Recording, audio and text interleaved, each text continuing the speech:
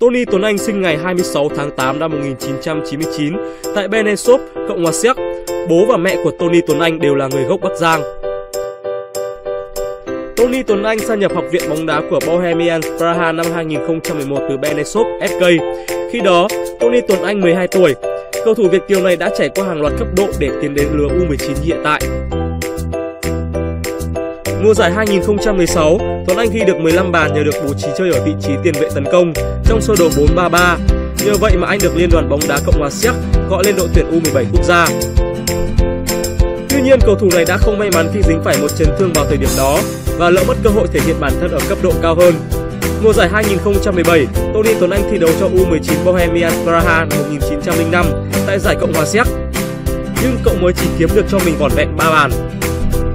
Nguyên nhân là do huấn luyện viên muốn thử nghiệm cậu ở vị trí tiền vệ phòng ngự. Ông nhận thấy khả năng chuyền bóng và phòng ngự của Tuấn Anh cũng khá ổn, chẳng hề thua kém khả năng chơi tấn công.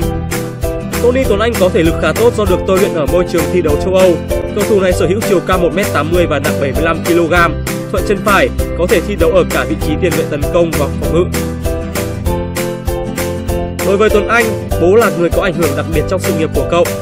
Câu lạc bộ Bohemian mà Lê Tuấn Anh đang thi đấu nằm cách Praha 40 cây số và cứ mỗi ngày như vậy, bố cậu lại đảm nhận công việc đưa và đón. Năm 2015, câu lạc bộ nổi tiếng của Séc là Sparta Praha từng đặt vấn đề muốn chuyển nhượng Lê Tuấn Anh, nhưng bố cậu lên tiếng quan ngại về khả năng ra sân tại câu lạc bộ mới vì Bohemian mà cậu đang thi đấu có vị trí đã vững vàng. Cậu bé nghe lời bố mình và ở lại đây. Tony Tuấn Anh hiện được huấn luyện viên Hoàng Anh Tuấn tạo điều kiện tập luyện cùng đội U20 Việt Nam. Bố của Tony cũng ở lại Nha Trang trong thời gian con trai tập luyện. Được biết, Tony Tuấn Anh ở cùng phòng với Tuyền Linh. Khát khao của Tony Tuấn Anh là được trở thành một cầu thủ chuyên nghiệp và trả ơn bố mẹ